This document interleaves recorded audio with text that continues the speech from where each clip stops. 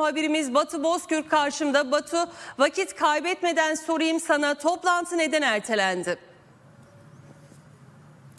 Saat 15.30 civarında toplantının ertelendiği duyuruldu. Aslında biz gözlerimizi bugün saat 17'ye çevirmiştik ve bu haber gelmesinin ardından biz e, bu sorunun yanıtını aradık. Toplantı neden ertelendi? Çeşitli kaynaklarımıza ulaştık ve son ulaştığımız bilgiye, edindiğimiz bilgiye göre Ankara'da yoğun bir aşılama trafiği başladı. Aşılama hazırlıkları başladı. Aşıların yarın Ankara'ya gelebileceği ifade ediliyor.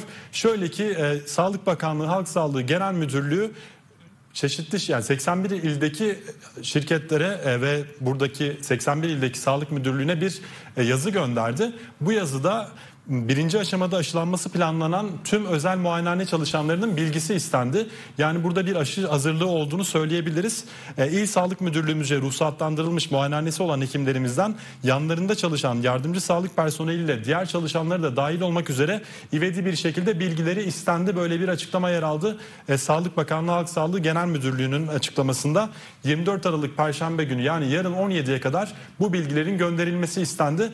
Yani bu şekilde yarın bu aşıların Çin aşılarının Ankara'ya gelebileceğini ifade edebiliriz. Tabii biz e, bilim kurulundaki kaynaklarımızla da konuştuk. Onlar henüz bir bilgi vermek istemediler. Ancak e, Sağlık Bakanlığı'nda, Sağlık Bakanlığı'nda bu konuyla ilgili bir açıklama yapması bekleniyor. Yani aşılar yarın itibariyle Ankara'ya gelebilir. Elimizdeki bilgiler bu şekilde. Duyuru bugün mü bekliyoruz Batu Sağlık Bakanlığı'nın bir duyuru yapmasını? O konuda henüz elimizde bir bilgi yok ancak yarın da toplantının olacağını hesaba katarsak toplantı öncesinde de bu açıklanabilir ya da toplantının e, toplantı içerisinde de bu duyurulmuş olabilir gün Tabii içerisinde. ertelenmesinin nedeni bu olmalı değil mi Batu? Yarın çünkü aşılar geldikten sonra mı bilim kurulu üyeleriyle bir araya gelecek Sağlık Bakanı? Bunu mu bekliyoruz?